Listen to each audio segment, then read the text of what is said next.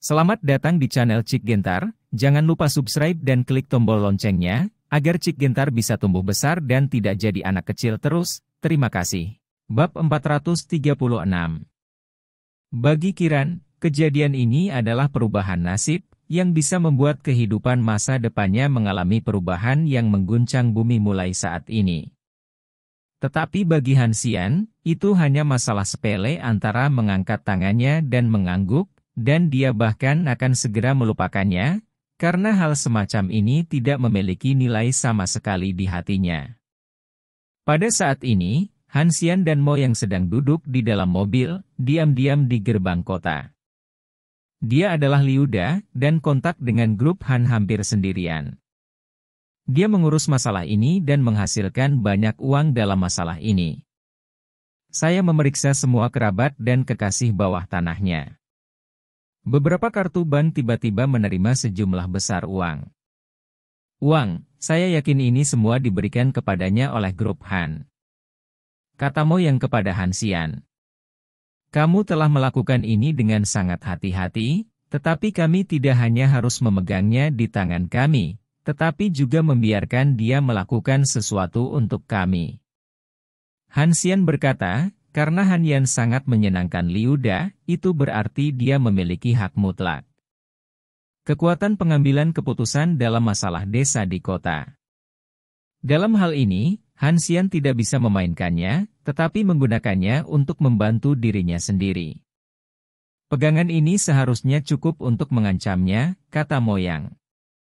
Hansian menggelengkan kepalanya, jelas memiliki pendapat yang berbeda, dan berkata, karena Liuda berani mengumpulkan begitu banyak uang, itu berarti dia harus memiliki cara untuk mencuci uang. Saya khawatir pegangan ini tidak cukup. Istri dan anak-anaknya ada di luar negeri, apakah kamu ingin memeriksanya? Kata Moyang, meskipun caranya agak tercela, dia hanya bisa menggunakan cara yang tidak konvensional untuk berurusan dengan orang-orang seperti Liuda, kalau tidak bagaimana dia bisa menyerah. Seperti kata pepatah, istri dan anak-anaknya tidak dalam masalah. Tidak peduli lawan seperti apa yang dihadapi Hansian, dia tidak akan pernah menyakiti orang yang tidak bersalah, dan dia tidak akan pernah menggunakan keluarga lawan sebagai alat tawar-menawar. Ini adalah intinya. Orang bisa kejam, tetapi mereka tidak bisa begitu kejam sehingga mereka tidak memiliki hati nurani, dan mereka tidak bisa membiarkan orang baik menjadi binatang.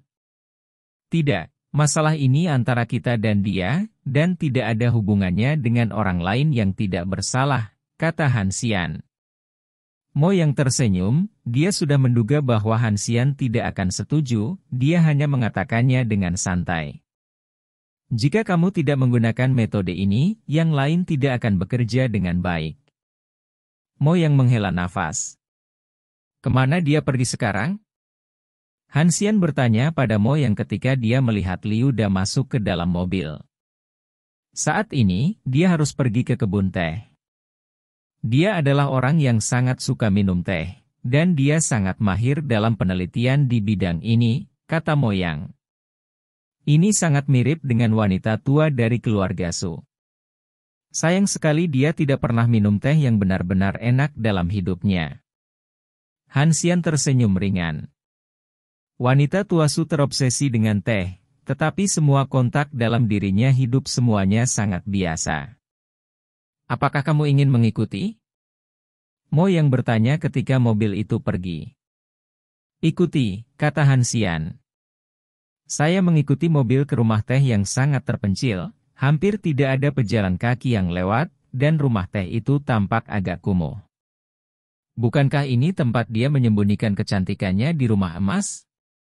Jarang, tapi ini tempat yang bagus. Hansian bertanya pada Mo yang dengan curiga. Mendengar kalimat ini, Mo yang tidak bisa menahan tawa. Apa yang kamu tertawakan? Hansian bertanya dengan aneh. Ketika saya pertama kali mengetahui tentang tempat ini, saya berpikir persis sama seperti Anda, tetapi saya memeriksa dan pemilik rumah teh adalah seorang lelaki tua yang berusia hampir 70 tahun, kata Moyang.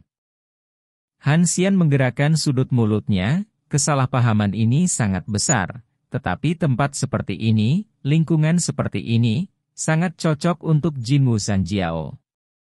Kamu menungguku di mobil, kata Han Xian. Mo yang meraih Han Xian dan bertanya, maukah kamu menakut-nakuti ular itu? Kamu muncul di depannya begitu gegabah, bukankah kamu baru saja memberitahunya bahwa kami mengikuti? Orang seperti apa yang bisa dia gunakan untuk kepentingannya sendiri? Han Xian berkata, pengamatan rahasia sudah cukup baginya, karena ditentukan bahwa Liu Da adalah orang yang berhubungan dengan Han Yan, maka Han Xian perlu menunjukkannya. Chip tawar-menawarnya sendiri, biarkan Liu Da melakukan sesuatu untuknya. Hei, terserah kamu, aku percaya pada kemampuanmu. Mo yang menghela nafas dan melepaskan Han Xian. Melihat Han Xian berjalan menuju rumah teh, Mo yang menyandarkan kepalanya ke jendela mobil, matanya sedikit ceroboh, karena bahkan dia tidak berpikir Han Xian bisa memberikan tawar-menawar yang lebih menarik untuk membuat Liu Da mengubah kampnya, lagi pula dalam hal sumber daya keuangan, grup Han dapat menghancurkannya beberapa kali. Pintu rumah teh adalah pintu kayu yang runtuh, yang membuat orang merasa bahwa mengetuk pintu dengan sedikit kekuatan dapat menghancurkan seluruh pintu. Hansian mengetuk pintu dengan sangat hati-hati, dan dengan suara berderit, pintu terbuka langsung, jelas tidak terkunci. Di depan Hansian, sebenarnya ada pemandangan jembatan kecil dan air yang mengalir. Rumah teh bobrok ini unik, yang tidak pernah diharapkan oleh Hansian. Halaman dalam tidak besar, tetapi pemandangannya menyenangkan. Ada dua orang duduk di bawah pergola. Salah satunya adalah Liu Da, dan yang lainnya adalah seorang lelaki tua reot, yang mungkin adalah pemilik rumah teh yang dikatakan Moyang. Ketika Hansian melihat mereka, mereka juga memperhatikan Hansian.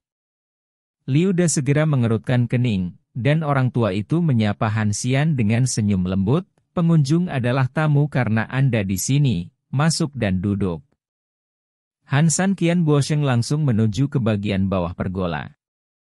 Satu set-set teh sederhana mengungkapkan jejak tahun, dan cangkir penuh dengan noda teh, yang terakumulasi dari waktu ke waktu. Noda teh di cangkir lelaki tua itu tebal, tetapi noda teh di cangkir Liuda jauh lebih tipis. Ini adalah perbandingan waktu yang paling jelas. Dia sudah lama tidak ke sini.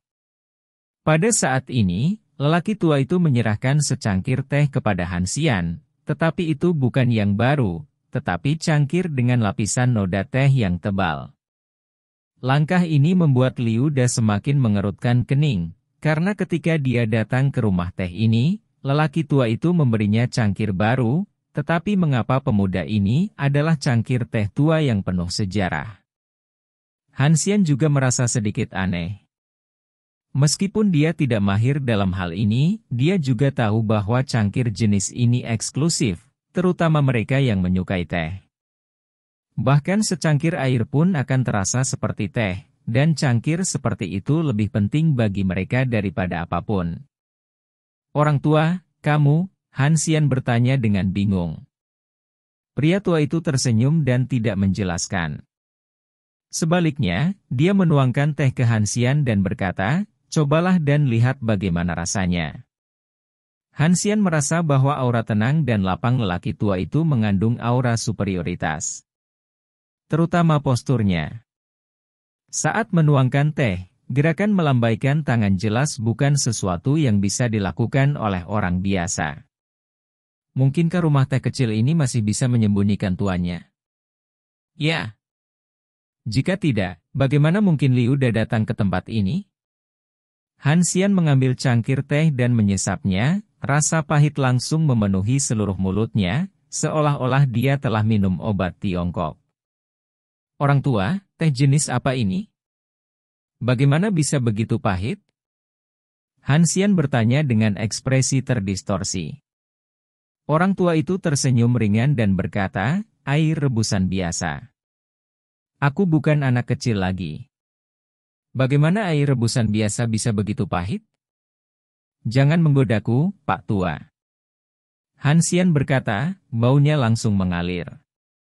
Kedahinya, dan bahkan membuatnya merasa-merasa paling atas.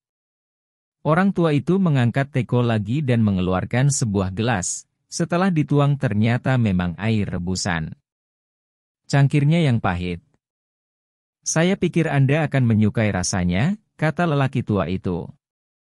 Han Xian tercengang, itu benar-benar air matang, artinya, rasa pahit yang dia rasakan semuanya ditularkan dari skala teh di cangkir, yang membuatnya tidak dapat membayangkan teh jenis apa yang diminum pemilik cangkir ini sebelumnya. Hanya bau sisik teh yang membuatnya meragukan hidupnya. Pada saat ini, lelaki tua itu tiba-tiba berdiri, mengambil cangkir teh yang baru saja digunakan Hansian, dan berkata kepada keduanya, Ayo, mari kita kembali dan beristirahat sebentar. Pria tua yang membungkuk itu berjalan perlahan, dan setelah kembali ke kamar, tiba-tiba dia menegakkan punggungnya, melihat cangkir di tangannya dengan senyum di wajahnya, dan berkata pada dirinya sendiri, Kakak, dia tidak suka bau ini, aku sudah menunggu di sini selama 10 tahun, hanya untuk melihat seberapa besar dia. Sayang sekali saya belum melihat apa-apa sejauh ini. Bab 437 Setelah lelaki tua itu pergi, aura Liuda jelas berbeda. Dia menuangkan minuman untuk dirinya sendiri dan merasa seperti dia adalah tuannya, dan auranya menjadi lebih kuat. Dia tidak menahan diri sama sekali, seolah-olah dia sengaja mencoba untuk menekannya. Dengan Han 3000 Menghadapi situasi ini, Han Xian tersenyum acuh tak acuh. Dia telah melihat terlalu banyak orang dengan aura yang kuat. Baginya, penindasan psikologis Liu Da seperti permainan untuk anak berusia tiga tahun. Kamu Han Xian? Tanya Liu Da. Tidak buruk, kata Han Xian. Liu Da mencibir dan berkata, saya tidak berharap Anda memiliki keberanian untuk datang kepada saya, tidakkah Anda ingin saya melakukan sesuatu untuk Anda? Sepertinya saya tidak memiliki apa pun yang layak Anda perhatikan. Hansian samar-samar berkata.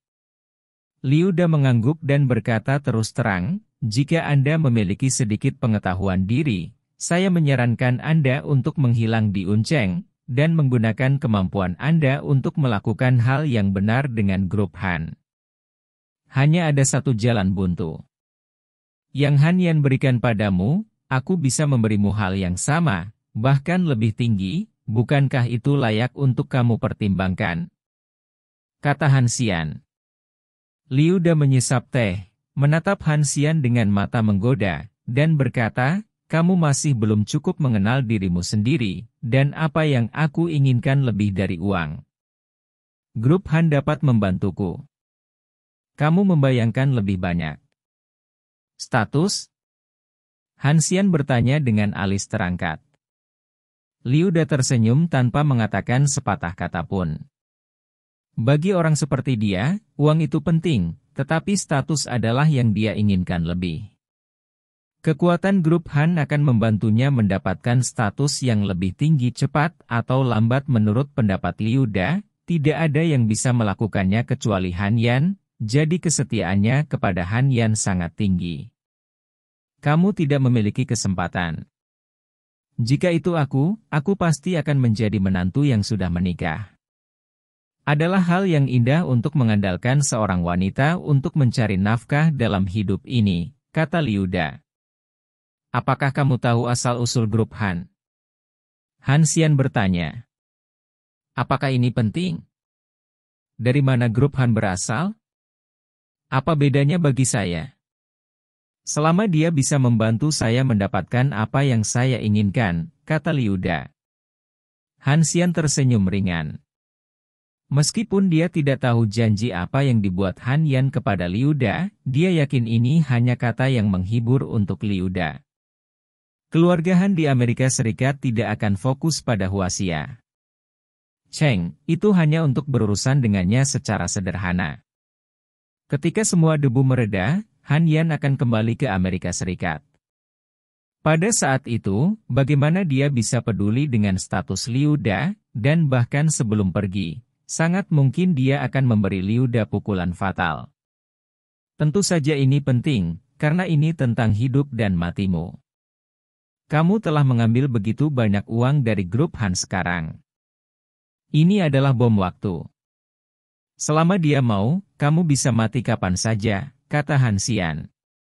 Liu Daning mengangkat alisnya dan memarahi Han Xian dengan marah. Jika tidak ada bukti, jangan memfitnah saya, jika tidak, saya akan meminta seseorang menangkap Anda.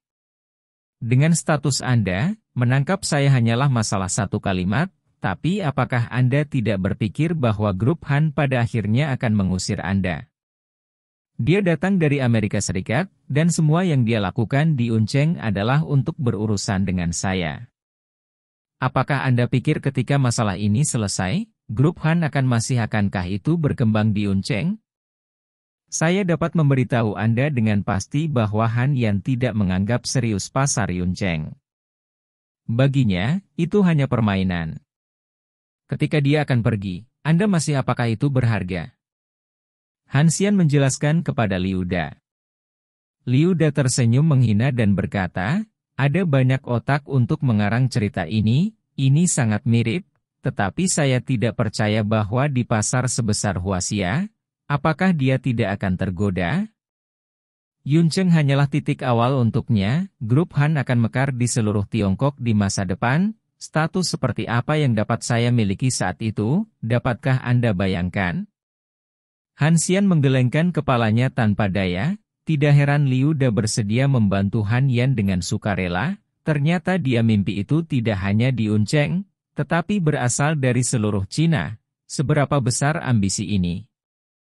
Ambisimu sangat besar, tetapi ambisi ini akan membunuhmu cepat atau lambat, kata Han Xian.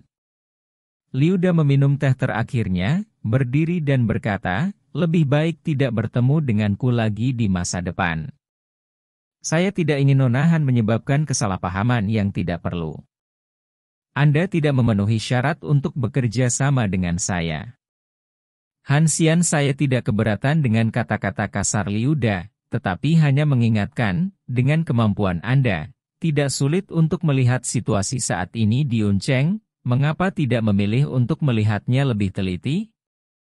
Anda sebaiknya mengingat apa yang saya katakan. Dalam hatiku, jika tidak, kamu akan menyesalinya cepat atau lambat.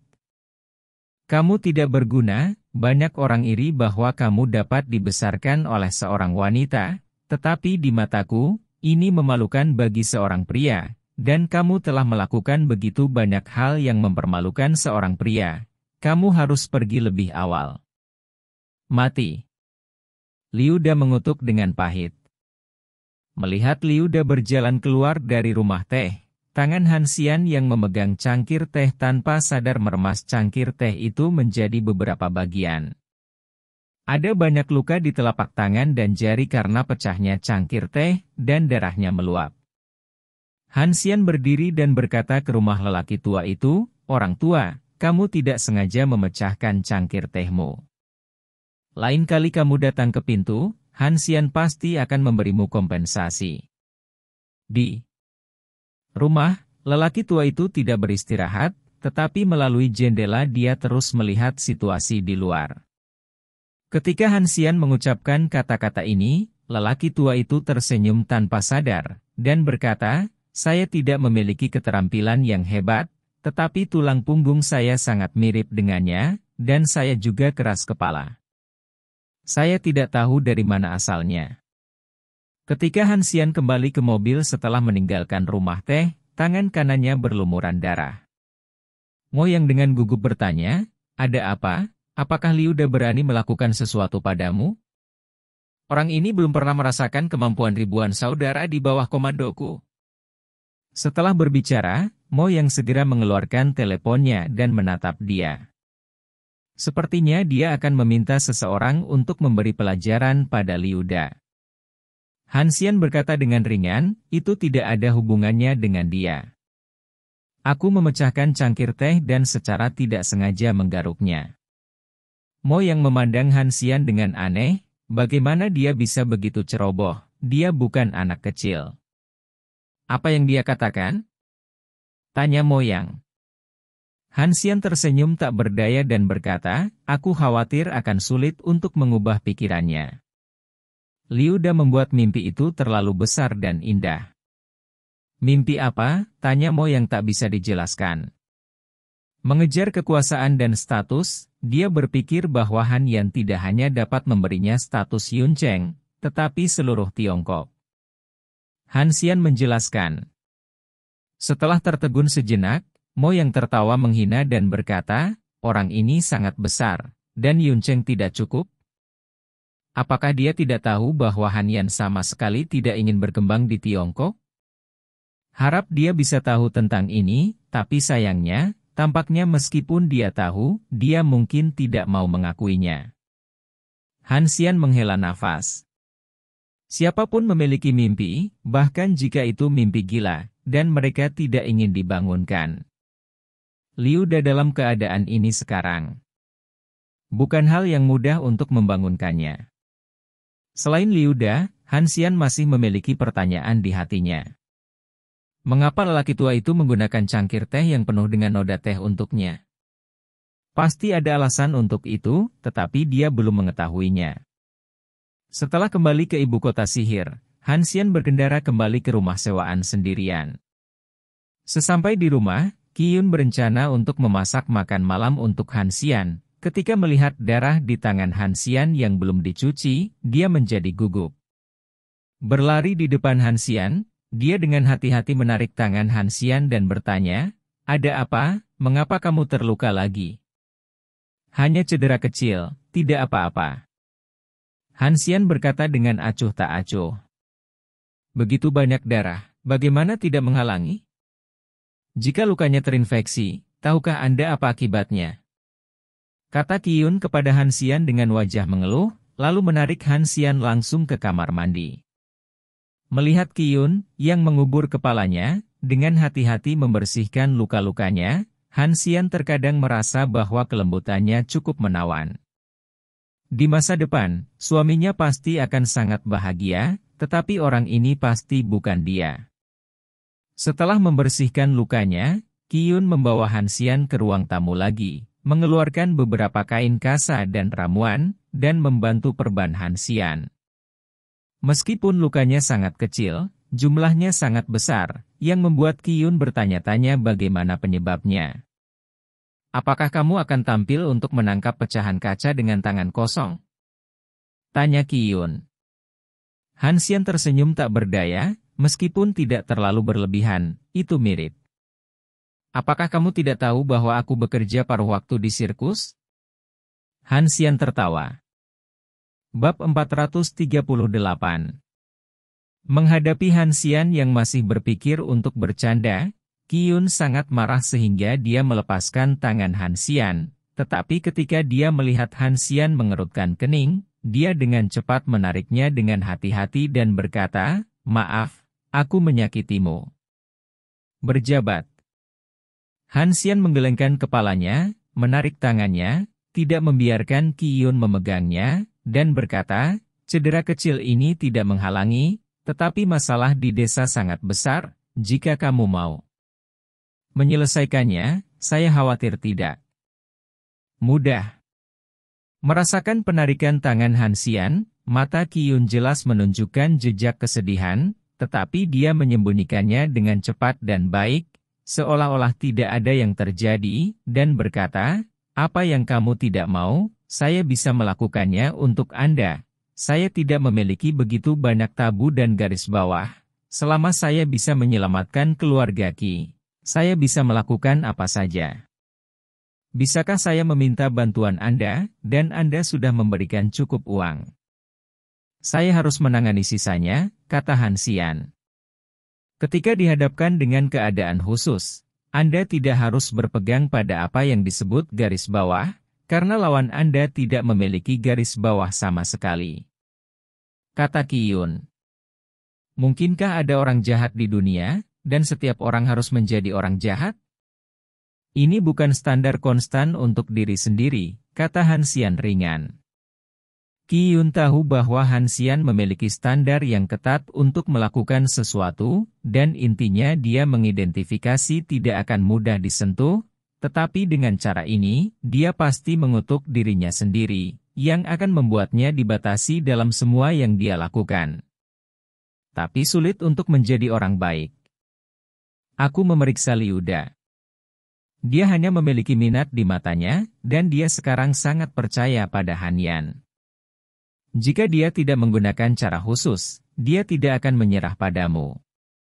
Kata Kiyun. Apakah kamu tidak akan memasak?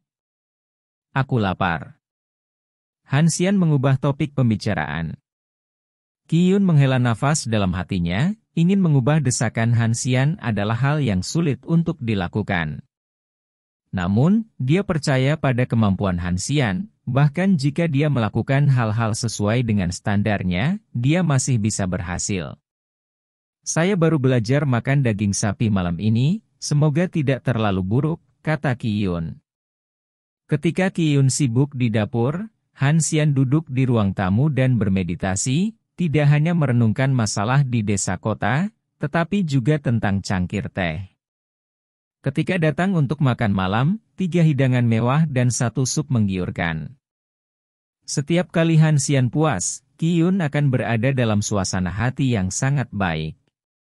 Dia bahkan punya ide bahwa jika dia bisa melakukan ini seumur hidup, dia mungkin yang paling bahagia masalah keluarga Ki diserahkan kepada Han Xian, dan dia hanya perlu menjadi istri dan ibu yang baik di rumah.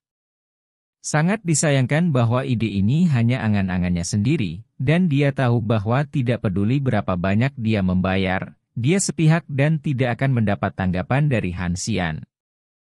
Tapi sekarang Kiyun tidak memaksakan apa yang disebut respon, dia hanya melakukan hal-hal yang bisa membuatnya bahagia. Adapun berapa lama dia bisa bahagia, dia tidak pernah memikirkannya. Sebelum tidur, Cuaca tiba-tiba berubah, dan tiba-tiba ada angin kencang, kilat dan guntur. Kiyun, yang sedang duduk di ruang tamu menonton TV, memiliki wajah pucat, dan tampaknya sangat takut pada guntur dan kilat di luar. Ini dimulai dari pengalaman Kiyun ketika dia masih kecil. Itu juga merupakan malam badai petir. Guntur keras bergema di seluruh dunia. Kiyun, yang orang tuanya tidak berada di sisinya, hanya bisa meringkuk di sudut dan menggigil. Malam itu sangat menyiksa bagi Kiyun, jadi bahkan sekarang, Kiyun akan sangat ketakutan ketika mendengar suara guntur, karena ini bukan hanya gerakan yang bergema di dunia, tetapi juga bayangan kesepian baginya. Apakah kamu takut? Hansian bertanya pada Kiyun. Kiyun mengangguk. Aku takut untuk istirahat lebih awal, hanya tertidur. Di mata Kiyun yang terpana, Hansian memimpin untuk kembali ke kamar. Ini membuat Kiyun sangat bersalah sehingga dia hampir menangis. Sebagai pria besar, saat ini, dia sebenarnya kembali ke kamar untuk tidur, bahkan jika tidak ada kenyamanan, bukankah setidaknya kamu harus menemaninya lebih banyak? Malam ini ditakdirkan untuk tidak bisa tidur untuk Kiyun, tapi Han Xian tidur sangat nyenyak. Dia suka badai petir dan lingkungan yang bising seperti ini. Hanya dengan cara ini dia tidak akan merasakan ketenangan yang aneh. Dia telah tinggal di kamar samping sejak dia masih kecil. Itu adalah tempat di mana bahkan para pelayan tidak ingin muncul. Kapan ada guntur, Hansian merasa kamarnya sangat hidup. Kesepian yang sama, tetapi dua perlakuan yang berbeda, ini mungkin alasan mengapa Hansian dan Kiyun tidak bisa bersama. Keesokan paginya, setelah Hansian bangun, dia menemukan bahwa Kiyun masih meringkuk di sofa, dengan ekspresi lelah yang jelas belum tidur sepanjang malam. Aku tidur nyenyak, bagaimana denganmu? Hansian bertanya dengan sengaja. Kiyun menatap Hansian dengan keluhan. Dia takut sepanjang malam. Dia berpikir bahwa Hansian akan menghiburnya di tengah, tetapi dia tidak menyangka bahwa pria berhati keras ini benar-benar tidak muncul, dan bahkan Kiyun mendengar beberapa mendengkur. Kamu masih bukan laki-laki, kata Kiyun dengan gigi terkatup. Apakah saya laki-laki? Hanya Yingxia yang bisa melihatnya. Saya tidak bisa menunjukkan barang yang begitu berharga.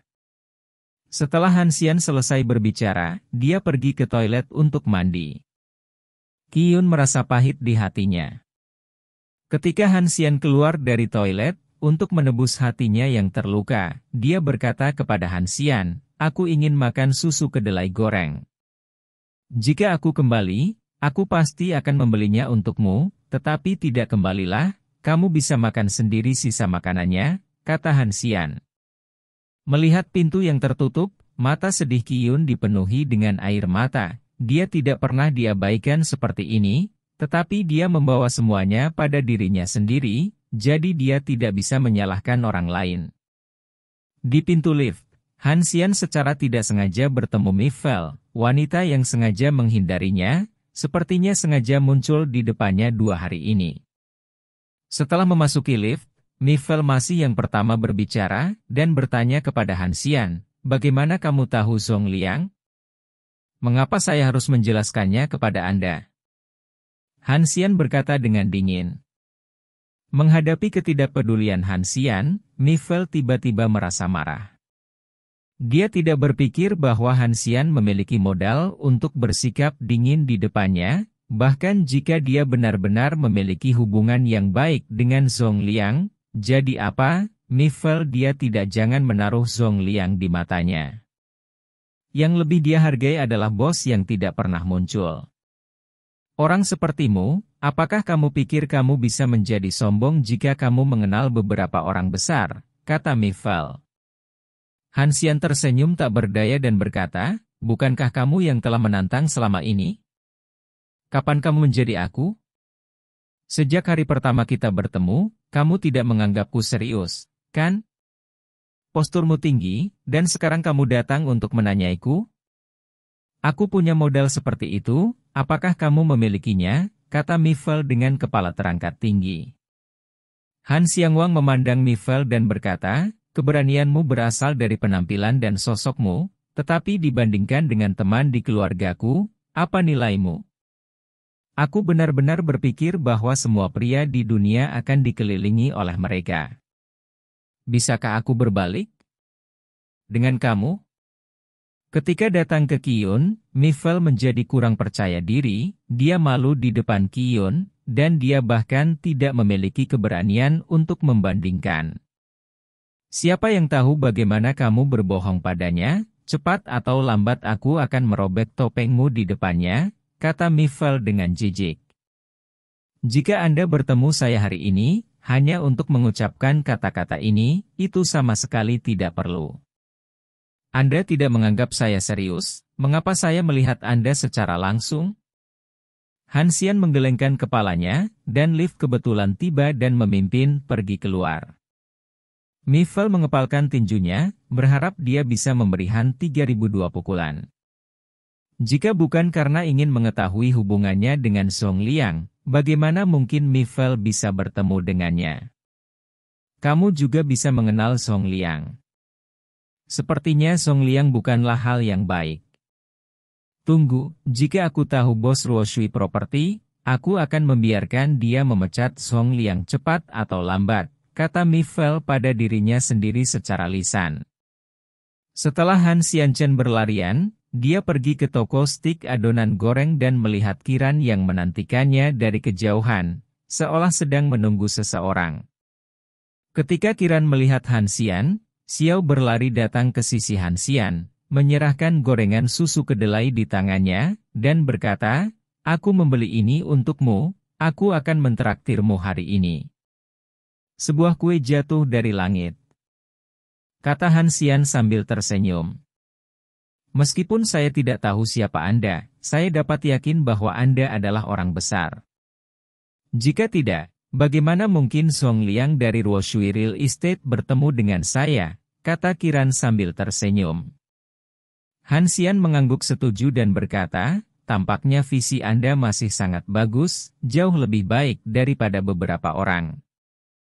Bab 439 Kiran tidak tahu siapa yang dibicarakan Hansian, dan dia juga tidak tertarik. Dia datang ke sini pagi-pagi sekali hari ini untuk berterima kasih kepada Hansian atas bantuannya. Jika bukan karena dia, dia tidak akan bisa melihat Song Liang. Tentu saja, tidak cukup hanya mengucapkan terima kasih untuk sarapan. Kiran bertanya, apakah kamu tinggal di dekat sini? Jika kamu punya waktu di malam hari, mari kita makan bersama. Hansian menggelengkan kepalanya, membawa gorengan susu kedelai berkata, makanan ini sudah cukup. Saya masih memiliki sesuatu untuk dilakukan, jadi saya akan pergi dulu. Setelah berbicara, Hansian berbalik dan pergi, Kiran bahkan tidak punya waktu untuk mengucapkan terima kasih. Melihat punggung Hansian, Kiran sangat ingin tahu tentang orang seperti apa dia, dan mengapa di bawah penampilannya yang sederhana, dia memberi orang perasaan yang sangat kuat, bahkan orang-orang seperti Zhong Liang harus memberinya wajah. Apakah itu? Kiran tiba-tiba memiliki pemikiran yang menakjubkan di dalam hatinya, seperti yang semua orang tahu. Zhong Liang hanyalah karyawan tingkat tinggi Real Estate Ruoshui, dan bos Real Estate Ruoshui tidak pernah muncul. Mungkinkah dia adalah bos Real Estate Ruoshui? Setelah pemikiran ini muncul, Kiran dengan cepat menggelengkan kepalanya lagi, dan berkata pada dirinya sendiri, apa yang kamu pikirkan, bagaimana kamu bisa memiliki keberuntungan seperti itu, dan kamu dapat bertemu dengan bos di belakang layar Woshui Real Estate dengan santai? Jika dia benar-benar bos, bagaimana dia bisa datang untuk membeli susu kedelai goreng secara langsung di pagi hari? Menurut pendapat Kiran, bos Woshui Real Estate sangat kaya. Seorang pelayan pasti akan membuatkan sarapan, dan mungkin seseorang dengan pakaian pelayan akan mengantarkan sarapan ke samping tempat tidurnya bagaimana dia bisa pergi ke toko jalanan seperti itu untuk membeli susu kedelai goreng secara langsung? Selain itu, tidak ada area perumahan kelas atas di dekatnya, dan tidak mungkin bagi orang setingkat bos untuk tinggal di sini. Kembali ke rumah dengan susu kedelai goreng. Kiyun yang tidak tidur semalaman, tertidur di sofa, disertai dengan suara dengkuran rendah. Sepertinya dia kelelahan tadi malam. Melihatnya meringkuk di sofa, pasti sangat tidak nyaman untuk tertidur dalam posisi ini, tetapi pikiran untuk membawanya kembali ke kamar menghilang dalam sekejap, dan langsung ditolak oleh Hansian. Jika digunakan pada orang asing, itu tidak dapat digunakan pada Kiyun. Meletakkan susu kedelai goreng, Hansian mandi air dingin, mengenakan pakaiannya dan keluar lagi. Ketika pintu ditutup, Kiyun, yang sedang tidur dengan mata tertutup, mengubah posturnya, berbaring miring di sofa, membuka matanya yang merah dan melihat goreng susu kedelai. Meskipun dia tidak membawanya kembali ke kamar untuk tidur, dia masih ingat gorengan susu kedelai, haruskah dia puas? Di area Villa Gunung Yunding, Su Yingxia kembali ke rumah setelah berlari di pagi hari, dan baru saja pergi ke kamar mandi untuk mandi, ketika Jiang Lan menyelinap ke kamarnya, melihat ponsel di samping tempat tidur, dengan cepat mendekat. Mengambil ponsel, dan mengedit pesan teks dikirim ke Hansian. Isi pesan teksnya sangat sederhana, meminta Hansian untuk bertemu di tempat tertentu di pinggiran kota pada pukul 15, setelah mengirimnya. Jiang Lan juga menghapus catatan pengiriman, dan kemudian diam-diam meninggalkan ruangan. Setelah mandi, Su Yingxia tidak tahu apa-apa, jadi dia mengenakan pakaiannya dan pergi bekerja di perusahaan. Ketika Hansian melihat pesan teks, senyum mekar di wajahnya, tetapi kata, jangan balas, di akhir pesan teks membuatnya merasa sedikit aneh. Mungkinkah Suingxia masih malu? Meskipun Suingxia belum pernah menyebutkan tanggal seperti ini sebelumnya, mereka berdua dianggap sebagai suami istri yang sudah tua, dan mereka masih sangat canggung. Jam 3 sore, ini masih pagi, ke mana aku harus menghabiskan waktu? Hansian berkata pada dirinya sendiri. Awalnya, dia berencana untuk pergi ke desa kota hari ini, Tetapi pesan teks yang tiba-tiba dikirim oleh Su Yingxia membuatnya gelisah, dan dia tidak sabar untuk bertemu Su Yingxia, menyebabkan Han Xian kehilangan minat pada yang lainnya.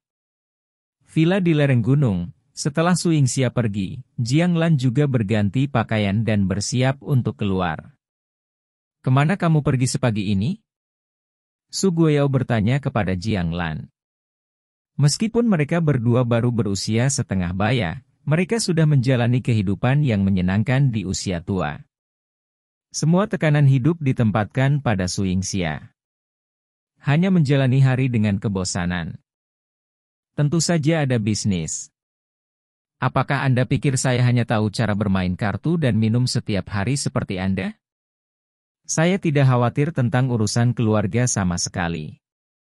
Jika keluarga Su mengizinkan Anda mengurusnya, itu akan menjadi masalah, cepat atau lambat. Jiang Lan berkata, dia bosan dengan Su Guoyao. Dia merasa semakin jijik, berpikir bahwa Su Guoyao tidak berkontribusi apa-apa untuk keluarga, dan tidak lain adalah makanan dan minuman. Su Guoyao belum pernah dikritik sekali atau dua kali, jadi dia sama sekali tidak peduli apa yang dipikirkan Jiang Lan tentang dia. Bagaimanapun, sekarang Su Yingxia sangat baik, dia telah menjalani kehidupan tanpa makanan dan pakaian, dan tidak ada yang perlu dikhawatirkan. Tapi Jiang Lan adalah pengecualian, pikirannya akan membuat marah Su Yingxia, dan Su Guoyao takut dia akan melakukan sesuatu yang bodoh. Jika Anda masih berpikir untuk menghancurkan hubungan antara Yingxia dan Han Xian, saya menyarankan Anda untuk menahan diri, jangan benar-benar membuat Yingxia marah, dan kemudian kita akan diusir dari rumah bahkan tanpa tempat tinggal. Su Guoyao mengingatkan. Dia berani. Jiang Lan tiba-tiba menjadi juling dan bermata hijau, dan berkata, dia adalah putriku. Itu adalah sepotong daging yang jatuh dari tubuhku, beraninya kau mengusirku, dan semua yang kulakukan adalah untuk baiklah, jika saya tidak ingin dia memiliki kehidupan yang lebih baik. Apakah saya perlu menghabiskan waktu dan usaha? Tapi Anda tahu hal yang tidak tahu terima kasih, mengapa Anda masih melakukannya? Su Guoyao tidak mengerti Jiang. Pikiran Lan sangat banyak, dia hubungan antara keduanya hancur lagi, tetapi posisi Su Yingxia cukup kuat dan jelas, tetapi Jiang Lan tidak tahu bagaimana menyerah. Dia akan berterima kasih padaku di masa depan, tapi dia belum memahaminya, kata Jiang Lan. Su Guoyao menggelengkan kepalanya tanpa daya. Su Yingxia sudah dewasa. Dia tahu persis apa yang dia hadapi, bagaimana mungkin dia tidak mengerti? Dan hal-hal seperti perasaan tidak membutuhkan alasan, dan Hansian adalah untuk keluarga Su. Dia memang telah melakukan banyak hal, dan sekarang perilaku Jiang Lan menyeberangi sungai dan menghancurkan jembatan juga sangat tidak autentik. Jika kamu punya waktu, mengapa kamu tidak pergi berbelanja dengan saudara perempuanmu, kata Su Guoyao.